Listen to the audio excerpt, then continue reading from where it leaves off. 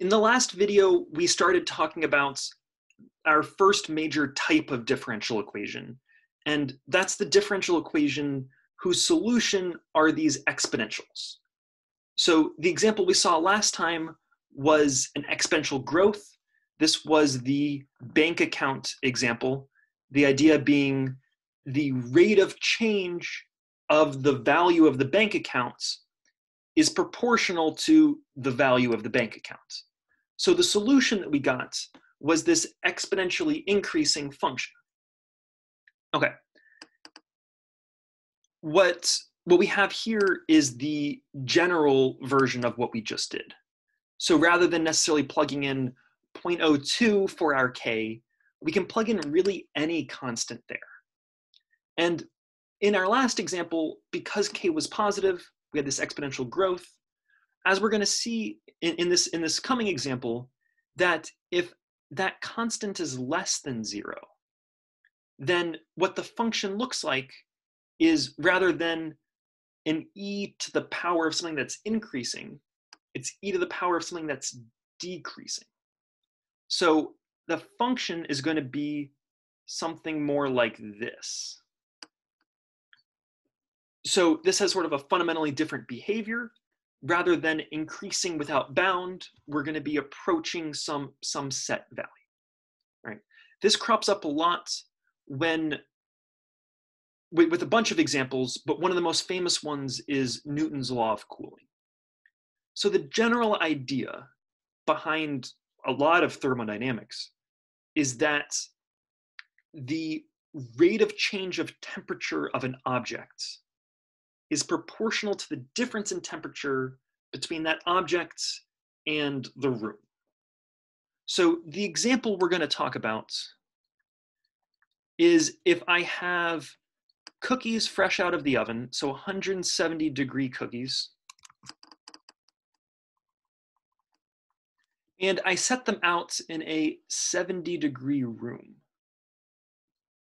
I'm interested in how the temperature of these cookies changes over time. So what Newton's law of cooling says is that all that really matters is the difference in temperatures. Because the cookies start off 100 degrees warmer than the room, that 100 is going to be the, the governing effect. So the rate of change of cooling between these two things would be the same as the rate of change of cooling between 270 degree cookies and a 170 degree room because the difference between those two very hot things is still 100 degrees same with our example.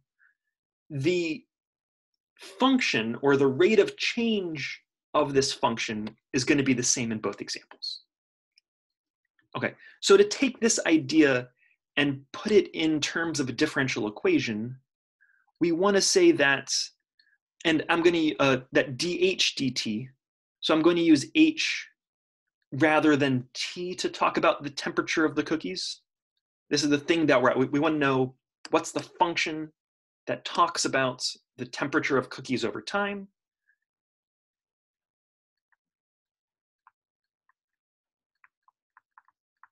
And rather than writing this as dt dt, which would be way confusing, we're calling the temperature H, just an arbitrary choice.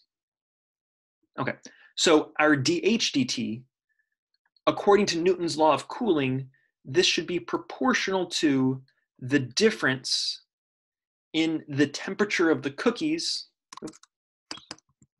The temperature of the cookies is H, the difference between the temperature of the cookies and the room. So as the cookies cool, the rate of change in the temperature is going to decrease. The cookies are cooling a lot faster when they're still really hot. And when they're relatively cool, they're going to be cooling at a slower rate. The, the total change in degrees per minute is going to be lower. So Newton's law of cooling just, has, just said that it's proportional. There's some constant here, some k, which is analogous to our 0.02 interest rates in our previous example, this constant governing the rate of change. This with cooling, this typically comes this comes from a lot of factors, including how insulated the object is, maybe something like about the airflow. There's a lot of different things that could go into this.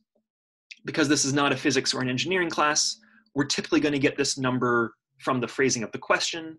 We might say that the constant that goes here is negative 0.1. All right, and we'll we'll we'll see how that is interpreted moving forward. But anyway, this represents Newton's law of cooling because the rate of change of the temperature of the cookies is proportional to the difference in the temperature of the cookies with the temperature of the environment. So now that we have this set up, we can solve this system, we can solve this differential equation. We want to know what's the function h. So uh, first off, there's going to be infinitely many functions of h that solve this. We want to know what those look like, and then we want to know the specific function h that meets our initial condition. At time t equals zero, the cookies being 170 degrees. So let's solve for h. We do that with our separation of variables approach.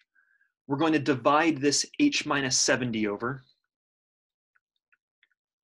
It's generally advised not to try to distribute this 0.1. We really want to be able to divide h over. If you distribute the 0.1 and try to add it over, then when you then try to multiply the dt over, it has to distribute in a weird way and, and it, it, it just doesn't work. Regardless, dh over h minus 70 should be equal to negative 0.1 dt. And just like we've done in the past, we're going to integrate both sides. The left-hand side becomes ln of the inside plus c equals negative 0.1 t plus c. And as, as I've said a couple times, we could put a plus c here, but there's because we can add that number to the other side, what we really have, or subtract it to, the other side, we, we really have is c minus c, which isn't zero. It's any number minus any other number is still any number. We're still going to call this c. c is a catch-all to be to just say, hey, these are this is some number that goes here. Again, what we want to do is we want to solve for h. To do this, we want to exponentiate both sides. We're going to get h minus 70 is e to the power of this.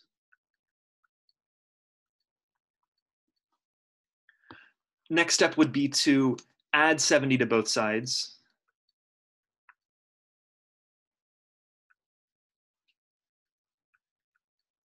And we're also going to pull the C down. So as we said in the, in the last video, uh, just as a refresher, e to a power plus another power is the same thing as e to the first power times e to the second power. So we could write this as e to the negative 0.1 t times e to the c. But again, c is just some arbitrary constant. So e to the power of some arbitrary constant is also some arbitrary constant. So we're going to get rid of that. And we're just going to call that, we could call it C, but we typically want to call it something different. We're going to call it H naught, um, which represents the initial, it's going to come in to talk about the initial condition. So this is the general form. This is the solution to the differential equation.